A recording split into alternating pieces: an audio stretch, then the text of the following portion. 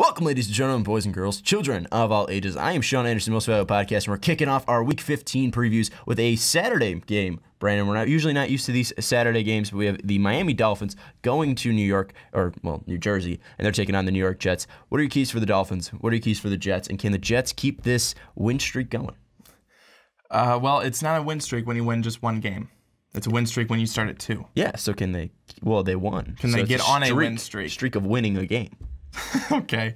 Well, first for the Miami Dolphins, They're not on a losing a, streak. A tough loss for Ryan Tan with with Ryan Tannehill, and thank goodness that it's it's not a tear Mm-hmm. and just a sprain, a possibility to be able to come back later on in the season if they are going to be in the playoffs. Which this team still has an opportunity to do that with a huge win this past weekend against the Arizona Cardinals, and and part of that Part of that actually was because of Matt Moore coming in a huge pass to Kenny Stills that set up the game winning field goal. And I think that if Matt Moore can make some plays like that and not turn the football over, that's going to be the biggest thing. And I think it's also going to be relying on the running game. Again, I've said this before in the past. I think maybe last week or the last couple of weeks. It's Jay Ajayi. Where is he at? I mean, I don't think uh, the Cardinals, a, a decent uh, run defense and, and a decent defense in general, actually one of the better ones, but lately it hasn't been that great. They've given up a lot of points. But I, I think that, again, not turning the football over for the Dolphins and, and establishing a strong running game is going to be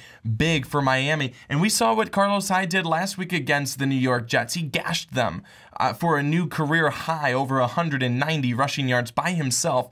So I think that things are looking up for Jay Ajayi in this matchup. And on the other side for the New York Jets, Bilal Powell looks really, really good running over uh, San Francisco's defense. Two run Everyone defenses does, that though. aren't aren't very good in the Jets and then San Francisco. But Bilal Powell actually has looked very, very good, better than Matt Forte. Matt Forte, I think, is possibly done. I, I, he has that knee injury, might be out again this week. Not sure on an update for him, but uh, I, I say just keep him out because Matt Forte lately hasn't been able to do a whole lot for you. You've actually been going Bilal Powell more. So I would say him and Bryce Petty, the best game I've seen him play so far.